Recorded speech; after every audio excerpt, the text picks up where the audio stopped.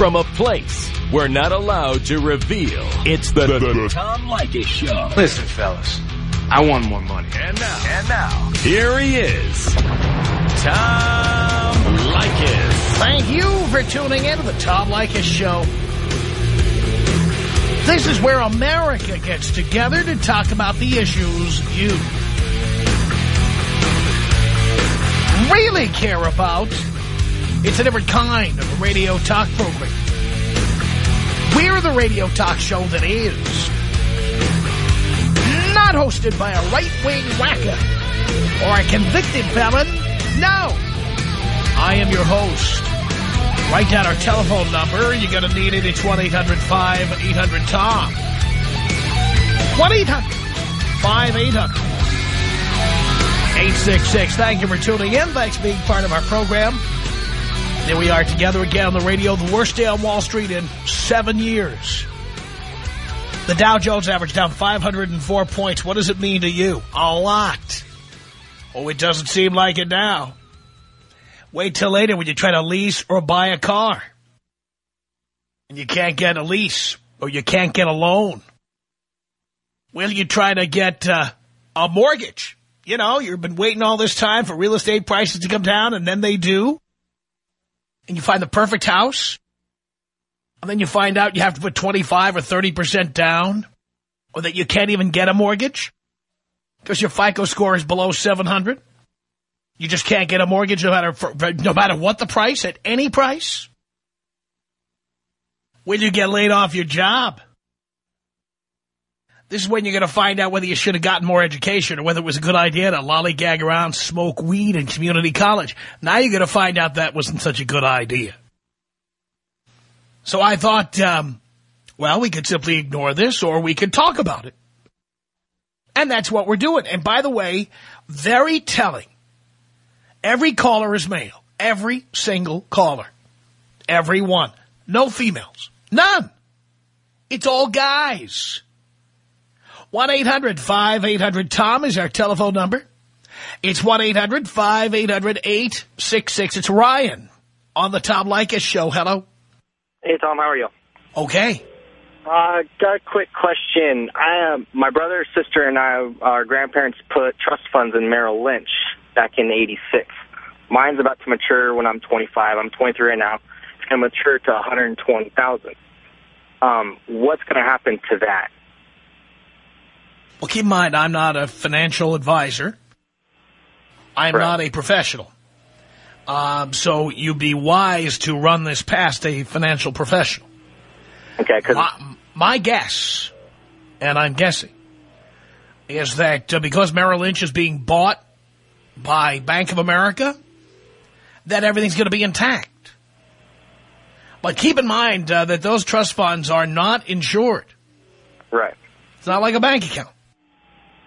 Right, So um, if I were you, I would invest in a one-hour meeting with a certified financial planner, which you can find by Googling.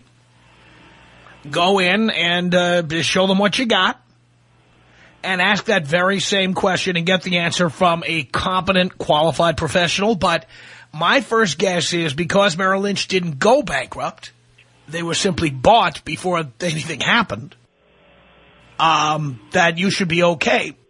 But don't take my word for it. No, because my mom went in today and she spoke to her financial advisor, and she's the trustees of all three of the accounts, and he's telling her that to take them all out, and there's going to be a huge hit, but to take them all out. Well, I w believe me, if I were you, I would go with the advice of a certified financial planner, a financial advisor, somebody who's licensed and registered. I would go with them. And there are certified professionals, and uh, if that's what a certified professional recommended. Now, keep in mind, and make sure of this, sometimes these uh, so-called professionals are actually selling their own services. For example, I would not trust this guy's advice if he said, take it out of Merrill Lynch, and here, I'll take care of it for you. right, Did no, he say that? No, what what was said was that because my mom can transfer. I don't know how it works. I've never done it. I've never touched the account. That she can get the money, and then we can. I can personally have it, but it's going to be a huge hit, like taking money out. Like it's, I think it's like, cause I get the big old Merrill Lynch statements and like, I think it's like at 114 something right now, but I would only see like 80 of it. Because you're taking it out early. Right. Right. Well, that's it. I'd get a second opinion on that for sure. Because um, I was hearing today that Bank of America will probably continue calling it Merrill Lynch, that they won't change the name to Bank of America Securities or something like that. They'll continue calling it Merrill Lynch. It'll continue to be Merrill Lynch. It'll just be owned by Bank of America. Okay. Bank of America at one time owned Charles Schwab, for example. Charles Schwab bought his name and his company back from Bank of America years later, but uh, I'm again, I'm guessing, but I would get the opinion of more than one pro because I, I don't know if if you need to take a $60,000 or $40,000 hit. I don't, I don't think that's necessarily so. Right. I, I run that by one other person or have your mom do that. I will. Cool. All right, thank you very much. Can you blow me up? Of course I can. 1-800-5800-TOM. Here comes Larry on the Tom Leykis show. Hello. Oh, God, Tom. What a day. What a day. And I'll tell you three words. Ignorance is bliss. I mean, a lot of your callers that don't realize the ramifications of what happened today and what's going to happen this week, it is going to become a freaking nightmare down the line. And just to put things into perspective, for people that don't pay attention, don't pick up a paper, I would go crazy if I had to take these calls all day long from people who are going to call you, and God bless them, but ask you, am I going to IndyMac? Am I going to have a job? What am I going to do with my $1,000 and Fannie Mae and Freddie Mac? I mean, what kind of advice is that? I mean, they should get Investing for Dummies 101 and just start from scratch. But when you when you think about what happened in the market today, Lehman Brothers, 158 years old, they survived two world wars and the Great Depression. I mean, this was a tremendous company. Bear Stearns collapsing. Merrill, which you are right, they are going to keep the name Merrill Lynch. Um, but it's it's going to trickle down, and like you said, it's going to come down to even more than just just getting a mortgage or getting a car loan. You know, I, I, I'm an actor. I got an actress friend that sits up at the coffee bean with me. I manage my own hedge fund. I'm very heavy in the market. I swing trade. I've got my bills covered, and I've got a year's worth of living expenses because the way things are today, God only knows what's going to happen. It could take you a year to find another job, let alone six months. But, you know, she had, she took, took out one of these liar loans, got a house. She took out a loan to do some home improvements, didn't read the fine print. The bank recalled her loan. They have the right to take that money back, and now she's sitting with a yard that's dug up, and she owes her contractor $80,000. I mean, it could trickle down so far you know, when when you look at the cost of gas, people don't realize that trucks are the things that move all the commodities across the country. So when you go buy a bag of chips at 7-Eleven, it's going to cost you more to get in there. It's just, it's insane. And I, I just, I just don't think that enough people out there really have a knowledge of how it's going to directly affect their pocketbooks. Hewlett Packard said they were going to lay off 24,000 people today. I mean, it, it's, a, it's an insane world. It really is. It's an insane world, and the reason it's going to be insane is because the average person is asleep right now and has no idea what this means. If you turned on CNBC, I didn't mean to cut you off, but if you turned on CNBC today and you saw the reaction of, of the people, the Jim Cramers and the Dylan Ratigans and the people that know this business and the look of shock on their face of this drop, of what happened today. And listen, I hate to say it, I'm one of your favorite people. I'm a Jewish New Yorker living in L.A. So this is about as good as Kristallnacht for me, 500 point drop. It's, it's horrible. But, I mean, the look on their face, and, and what they don't realize is tomorrow, if AIG doesn't lock in their financing, AIG, they have insurance on so many of these loans and, and what's really weird is that if if the ratings are cut on AIG, it will automatically signal sell triggers that are, are electronically done, which could just rock the market. It could just totally have such a ramification that really nobody is prepared for. Doesn't a, doesn't AIG also insure the bond offerings of various companies? That, so it's that that's, that's what they exactly do, right? What, what, what, in, a, in a nutshell, what it is is that these investment bankers, and that's exactly right. If you could imagine that for every dollar they have, they borrowed thirty dollars to make loans and whatever, like the Lehman Brothers and the Goldman Brothers. And then what happens is that for that every dollar that they that they that they have, they borrowed thirty against it. They lent it out on these risky tier three, these high these high risk mortgage investments, and then this money gets called, and they're asking for you know they want their money back, but they have insurance now in case they can't pay, and their insurance is through a company exactly like AIG. So now somebody like like Lehman goes under, and now AIG that is going to be covering, you know, insurance for Lehman is going to turn around and be hit with these in, in, in, in top of what's going on with Ike. Now they're going to be expected to make these huge payments. So if they can't have the capital to make that, it, the ramif- the trickle down ramification is insane. And then, I mean, I don't want to get too in depth with this, but if you look at somebody like Wells Fargo after trading today, Wells Fargo's done very well because they they were very very conservative in the way they lent money and weren't really exposed in bad mortgages. But guess what? Wells Fargo, whose stock was trading about 31, 35 had a lot of loans out with they they had a lot of money that was owned by Lehman, and now Lehman is gone, and they're now exposing a hundred a hundred billion dollars that they are going to be owed, and it, it just it just the effects. There's no transparency in, in these companies, and that's the problem. It goes deeper from like Enron. There's no transparencies. Nobody knows, like you said, what the actual value of real estate is. Nobody actually knows what the actual value of these companies are. So it, it's it's it's a real turbulent time. It's it's a uh, it's a, a real life changing time for a lot of people, and um, you know it's just insane. It really is crazy. You got to pick up a paper and and uh, and and read the um, read what's going on.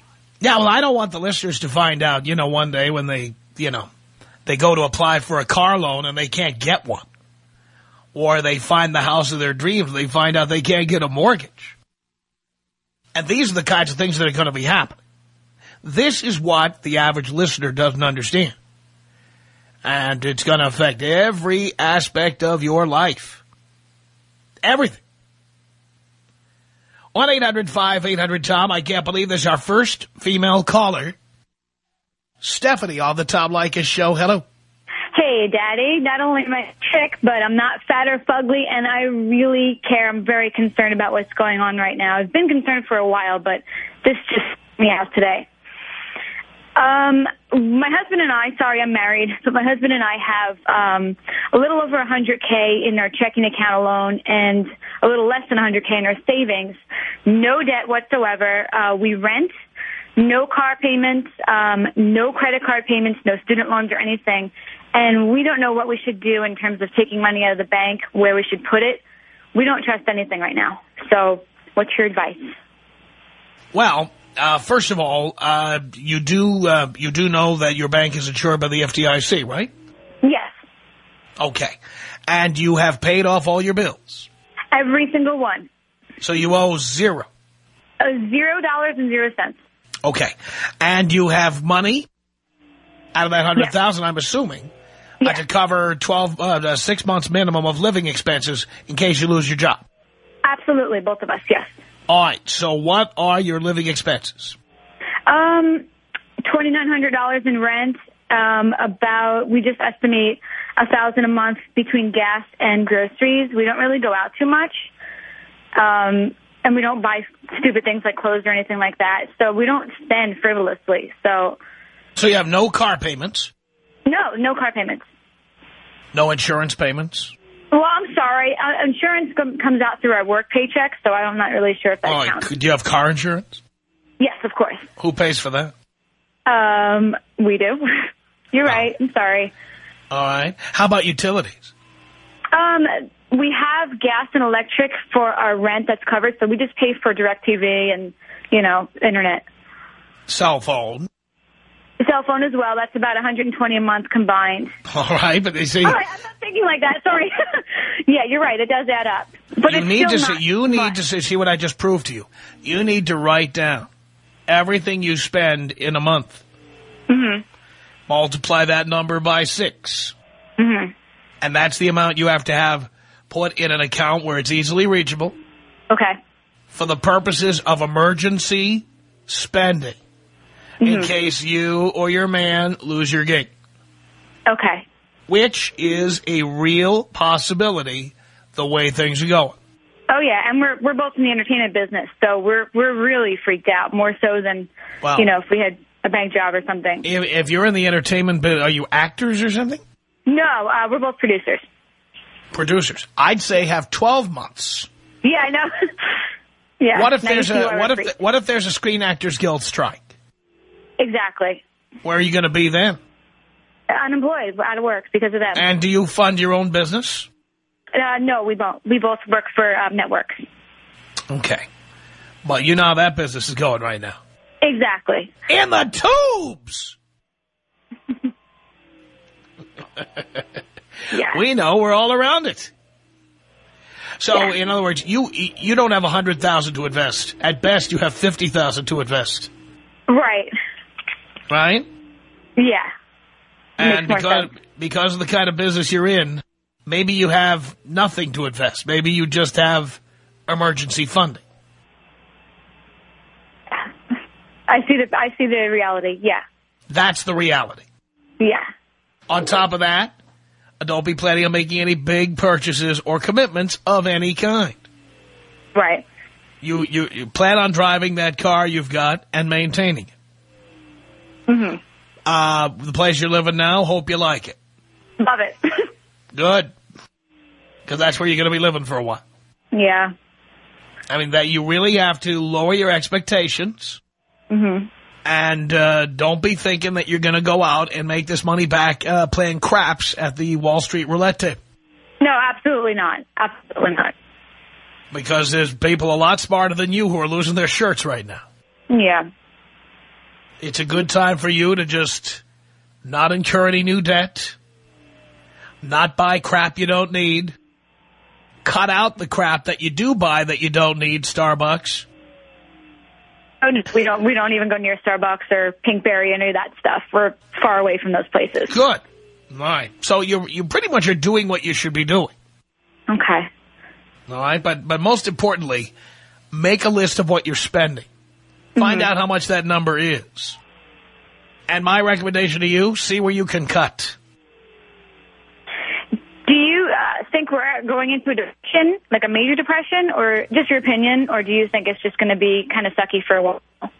Well, uh, I'd be the last one to try to call a depression because uh, we've had recessions, we've had wars. Uh, we boy, we got all of it at one time now. Um, but uh, there's only been one depression in the last hundred years. It was 1929 to 33 or so. Uh, we did have a stock market crash in 1987, but it was not followed with a depression. So um, th- the thing is, though, that we have had long periods of recession, high inflation, high unemployment, uh, going back, for example, to years like 1979 and 1980. It was horrible. Do you know how much? when I was born, yeah. Now, do you know how much uh, interest you could get on a money market account back then? Sixteen percent. Oh. But uh, uh, the inflation rate was huge. The unemployment rate was huge. And the price of a gallon of gasoline at the time was the highest we ever knew. So this is kind of similar to that time in my eyes. And so my having lived through it, my recommendation to you is just be sure to live in the most frugal manner you can. Thank you. That's the best advice I can give you. Thank you, Daddy. Darling, I'm always here even in time of need. You have to understand that. Tom Leykis. 1-800-5800-TOM. Tom. 1-800-5800-866. Leykis. Dude, philosophy and everything, man, you're the master. You're not father, you're the master. The Tom Leykis Show.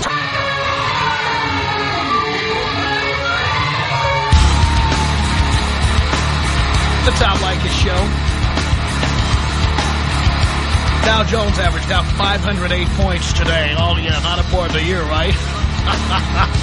How does that affect you? Well, that's what we're here talking about. At 1-800-5800-TOM. Jimmy in Portland, Oregon, home of the other white meat. You're on the Tom Leykis Show. Hello. Let me try it again. Jimmy, are you there? Yeah, I'm here. How's it going? There we go. Oh, it's going okay. Great. Hey, um, right now I'm uh, renting a house, and uh, I'm kind of working in negotiations to buy it from the landlords.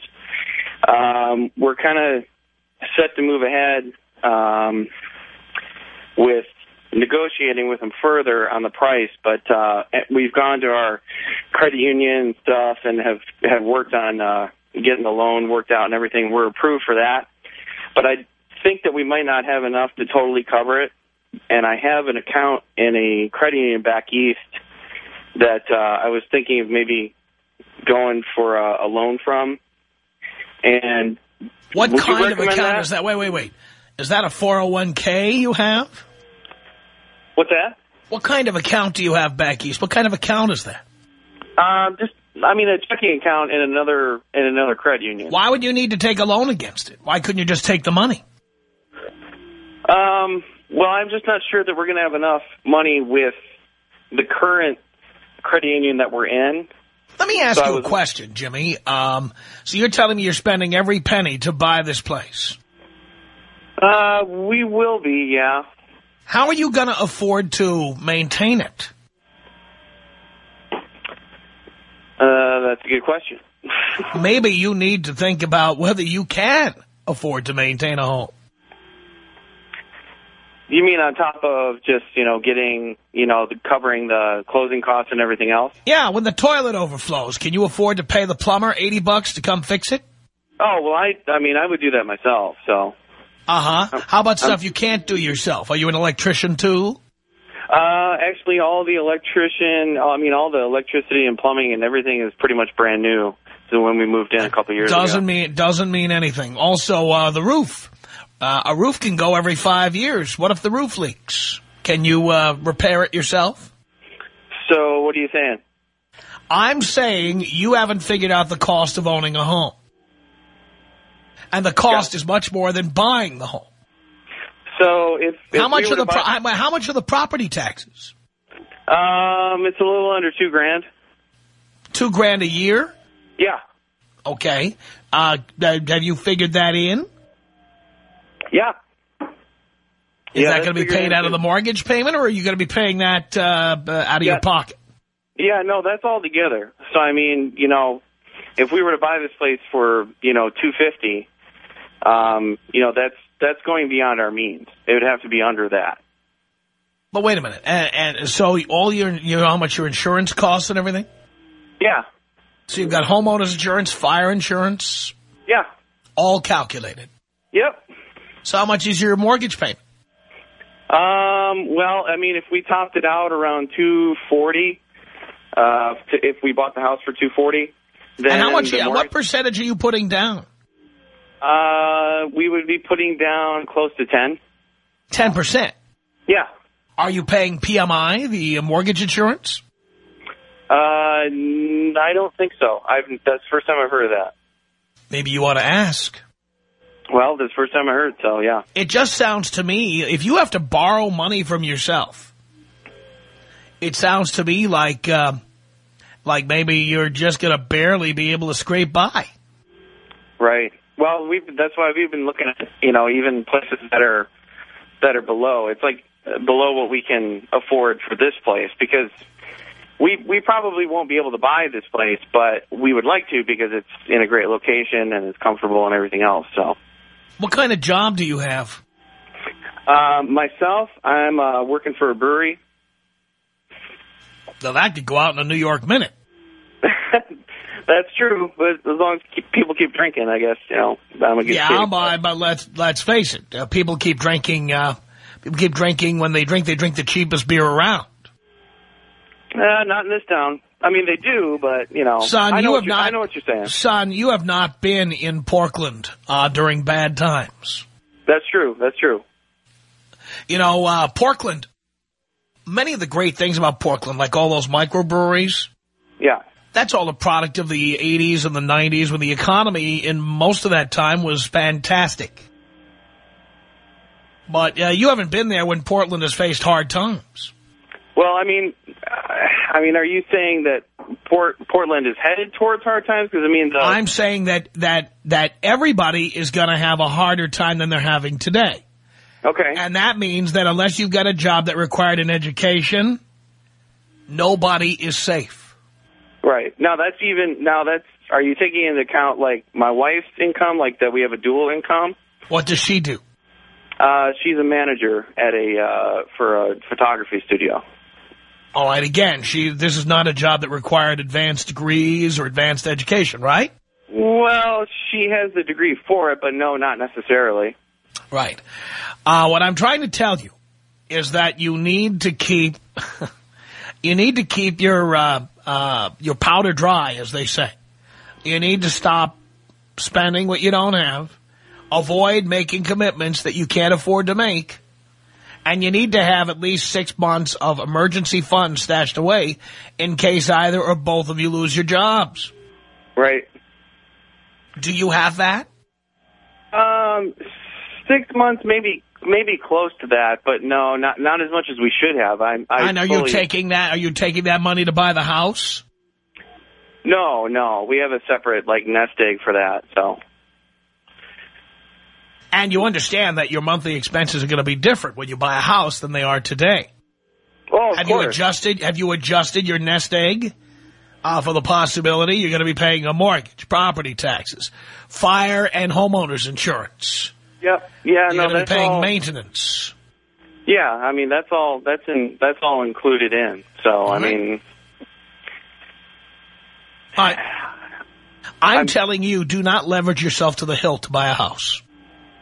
So you're saying say to to buy what I can afford basically is what I've been hearing from everyone else, Or less. or less, in the in the hopes of maybe turning that house over like in the oh, future. Oh, don't even start with that. The house you buy, you better be planning on living in it a minimum of five years. Oh yeah, I mean at least yeah. At least. Okay. And there's no guarantee you'll make any profit at the end of selling it. right. Keep in mind, the house has to appreciate 6% merely to break even. Do you know why? Uh, because of inflation. Nope. Well, because you have to pay the realtor. Well, that that's the thing is that on this. Oh, you mean when we sell it? Because When you we'd be- sell it. we'd be buying. Okay, I see what you're saying. Yeah. So Right. you understand, the likelihood of you making a profit on your own residence is minimal. Right.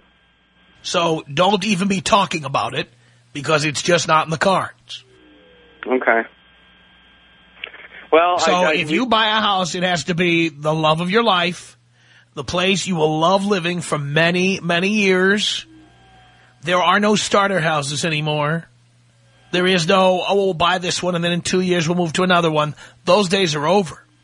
That's all they that's all they seem to sell in in Portland, at least in the areas that we're looking for, are starter homes that need like a lot of fixing up, and they're asking way too much for them. No, but when I say a starter home, I'm referring to starter homes in the sense that there are people who say, well, we're going to buy this house, but then we're going to sell it and we're going to buy another house in two years. Oh no, we're not we're not intending on flipping anything. Well, flipping would be less than two years. Flipping would be six months. Yeah. But this is the next five years of your life. Right. Imagine yourself in that house five years from now. With the same jobs that we have and the, and making the same amount of money that we make. Is that what you mean? Or worse yet, what if you lose a job? Right. Right. Okay.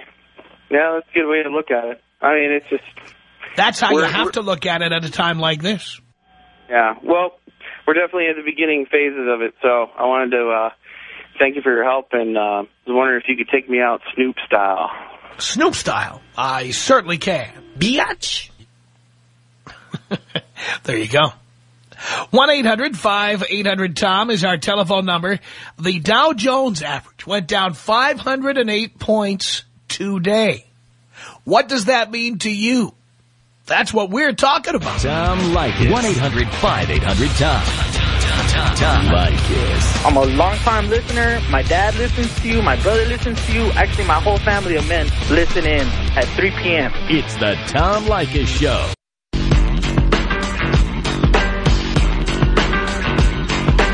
Tom Leykis here. The Dow Jones Industrial Average fell 508 points today. That is the worst performance since the first business day after 9-11, 2001. That's bad. And it's going to affect you. And that's what we're talking about here at 1-800-5800-TOM. Let's say hello here to Valentina on the Tom Leykis show. That's two women who've called in here. Hello. Hello, Tom. How are you? I'm doing great. Um, I just wanted to comment on uh, what happened today. You know, um, I do pay attention to the financial markets, and I kind of figured, you know, today was going to be a bad day. I was watching earlier this morning, saw it down, you know, 250 points, and I was like, oh, you know, and then to find out later this. And I, I have to agree with you 100%. I do think that it is going to get worse. And judging by your callers, it doesn't seem like they even understand what FDIC is is kind of scary. Not, not to mention the fact that I don't think the average person knows that this is going to affect them. It's not just going to affect the people who work on Wall Street or the people who are stockbrokers. It's going to affect everybody. No, and you're totally right. And um, I kind of, and I know it's going to suck and it's going to be really hard for, you know, many of us. And I think that it, in some aspects, it is very needed. Um, I'm not from this country, and I do work in credit. My husband actually works in finance, and it amazes me how little people understand how credit works, how finance works, and, you know, people live way beyond their means here. Where I'm from, credit's not a big deal. Either you have the money, great, you know, you can buy whatever you want. You don't have the money, well, guess what? You're going to have to save. And, um, you said earlier about, you know, having a great FICO score and, you know, you better have a 700. You know, my husband's in finance and he has people that have, you know, uh, FICO scores of 750 with 10% down and they can't get deals bought. I mean, it's, you have to, you have to have really grade A paper and the banks are just raising, you know, the limit higher just because they don't have the money to lend it to people. Let me tell you something. I bought real estate this year and Hmm. that's before the current crisis. And I needed what they call a super jumbo loan. I needed one that uh, exceeded the conforming limits uh, for an FHA loan. Right. And at the time, that at the time, now that's what seven hundred twenty nine thousand dollars. At the time, that was, you know, what about four hundred and thirty thousand dollars or something like that.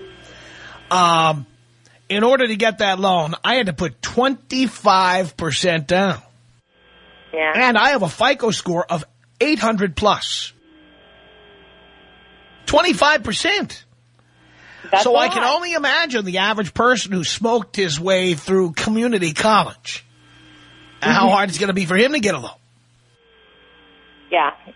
And I mean, it's it's hard for people that have, you know, they have decent credit and they have money. I mean, I see people that have, you know, bankruptcies late and just the credit's atrocious and they don't understand. And in many ways, I feel like this is kind of needed to kind of put people back in their place. You know, the people of the depression, you know, they, you know, they're more frugal. They live through harder times. They understand and they look at things very differently. And I think that we have kind of almost spun out of control and we need this in as horrible as that sounds, that, you know, it, it kind of has to happen. And hopefully, you know, uh, McCain's not going to win. I can only, I only fear more of what, you know, what's going to come of that if he's in charge. I was wondering if you heard today President Bush, what he said about the economy, if you heard his comments, Well, his comments are not that different from what we've heard in the past.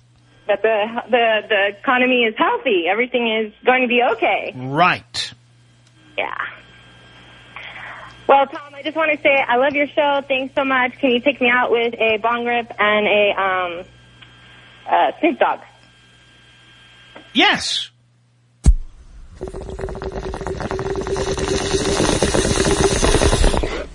Biatch. It's 1-800-5800-TOM. That's our telephone number. The stock market down 508 points today. What does this mean for you? For God's sake. Ron on the Tom Leykis show. Hello. Hello, Tom. Hello, Ron. Hi, I just wanted to say that, uh, yeah, like the last caller, I'm a shocked actually about how important money is to so many people. I mean, to everybody actually. It's probably the most important thing to every to most people. Yet people don't understand at all how it works, how credit works. And it's you know it's great that they're calling you to ask what they should do with their money. I mean, you've got a lot of great answers and you're giving some good advice, but they should really learn and research themselves. I mean, it, it's such an important thing to know. Yet nobody knows anything about it, or most people don't know. And um, uh, like you gave uh, some advice to one caller who said that he went inside um, Merrill Lynch to ask, and you gave him great advice. Go ask somebody else, get a second opinion. Why don't people understand that to get as many opinions as possible? You should do that about everything. Um, yeah, the opinion he got was troubling me. Yeah, I didn't even I didn't like that. You know, I was agreeing with you. I mean, I didn't I don't I'm not an expert on that, but I would think that, you know, since Bank of America is purchasing uh Merrill Lynch that everything will be fine. Um and on top of that, yeah, people don't understand FDIC that they should, uh, you know, split up their money into accounts of $100,000 each so it's protected. But, you know, um, a lot of people, you know, just go ask one person. You don't know what that one person's motives may be if they're going like you said, maybe making a commission off of whatever advice they give you. And uh, people just listen to the first person that they give them advice. And it's really not the smart way to handle your money or make decisions about anything in life. Absolutely. Um, I also want to talk about how um, I feel like this whole crisis that's going right now is obvious. I I didn't predict that today the stock market would fall 500 points. I did hear late news yesterday about how this was going to happen today, but um, it was going to be a really bad day. But this was coming. I've been telling everybody that would listen to me that you know they need to take their money out of the stock markets. I've been telling them for six nine months now. I mean, if you when there's smoke, there's fire. There's been bad news coming out from everywhere about our financial markets. And yet you have some people saying everything's fine, everything will be good. But you know what, though? All the signs are pointing towards things getting worse. So I don't know why people would be putting their money into the market right now. And um, I was reading something about how um, one uh, independent analyst group was saying that, and they were saying this in January, about that all the write-offs probably are going to total about $1 trillion. Well, right now, the cumulative um, total write-offs from all these companies are about 300 billion. That's only 33 percent of what's been predicted is going to be the write-offs. So there's a lot more for the economy to fall, and it doesn't surprise me that you know right now the government is doing everything in their power to slow it down, to bleed it slowly instead of instead of, instead of just letting these companies fail, letting us just you know let it bottom out and let it then recover they're bleeding it slowly. Um, they're really a lot of people are misleading, you know, you know everybody, and it's, it's really it's really too bad. Hang on a second, Ron. Ali, what did you want to say here to Ron? I disagree because most of the problems we are facing right now is because of the war and high price of oil. The price of oil is falling. The war is about over as soon as this administration gets kicked out and new Democrats come in. And uh, the thing is that everybody says the sky is falling. A lot of short sellers are selling stocks and uh, make the economy appear so bad. I think within 10 months or 18 months will be pretty much like the way we were two years ago, three years ago, because interest rates are low, the oil is low, economy is going to get going. People need food, people need the places to live, people are still going to drive. So the economy is going to go. It's just a bunch of baloney. People are saying uh, things are going to get much worse. I don't think it's going to get much worse than it is right now. I disagree, Ali. Um, first of all, you're just pointing, everyone is just saying, you're not pointing to fundamentals. You're not pointing to numbers. You're pointing simply to the fact that things have to get better. And that's what people do. You know, when there's blood in the streets, that's when all the investors, all the buyers come in. But you know what, though? I don't think there's, you know, we've hit bottom. There's still, there's been so much speculation, if you look at the numbers, and so much um, appreciation of, and overvaluation of assets that it just doesn't make sense. The numbers don't make sense. And a little bit, there's a lot more room to fall. You can't simply say just because it's come down a little bit, which to us right now it seems like a lot, it's still compared to like let's say 1997 numbers or even 2001 numbers. These are the uh, the appreciation, the overvaluation is crazy. We made tons of money since the the uh, tech uh, boom um, and um, it, with the real estate boom and the you know the credit boom, and it's you know it's about time that the uh, they correct themselves. I'm sorry, but if you go if you go to any other country, you think this place is overvaluation. You go to Europe, it's a lot worse than here, and the economy has been going. But this is what my point is. United States is the biggest producer of food, industrial supply, and uh, technology to the rest of the world. If the dollar is weaker, the economy here really is going to take off because many countries in the world, they're going to be buying U.S. products. and that's going to move the production and uh, industrial uh, in the entire nation. So uh, I think by next year we will be in a much better position than we are right now, unless the price of oil stays up above a hundred dollars. That's the only reason it would stay down. All right, Ali, Ron, thank you for the calls. 1-800-5800-TOM. It's Patrick on the Tom Leykis show. Hello. Hey, how you doing, Tom? Doing okay. Yeah, I just want to interject a little bit on this uh, on this conversation here. Uh, yeah, we're we're definitely in. You know, we're definitely not seeing the bottom yet. Uh, in, until the banks can start realizing their, as the other caller mentioned, their tier three assets, and and start improving some of these short sales out here. I mean, we're we're kind of stuck in the middle. We're getting we're getting these short sales. Uh, we're getting offers on these short sales. We're able to uh, present these to the banks, but the banks, they're just not buying them. Regardless whether I got an appraisal or two, three or four appraisals proving the value of that property, uh, the banks are just not budging. They they feel that their properties are worth more. They're just, you know, they're they are they have a ceiling that is not being recognized. I guess you could say. I got a rebate on my property taxes in L.A for this year, and now I'm getting a rebate in uh, Santa Barbara County on my new house. I suggest that all home buyers turn in their tax reassessments, because that is definitely one way of, uh, of, of minimizing their monthly payments. No doubt about it. Patrick, thank you. Our email address is my name. It's Tom at blowmeuptom.com, Tom at blowmeuptom.com. The Tom Leykis Show.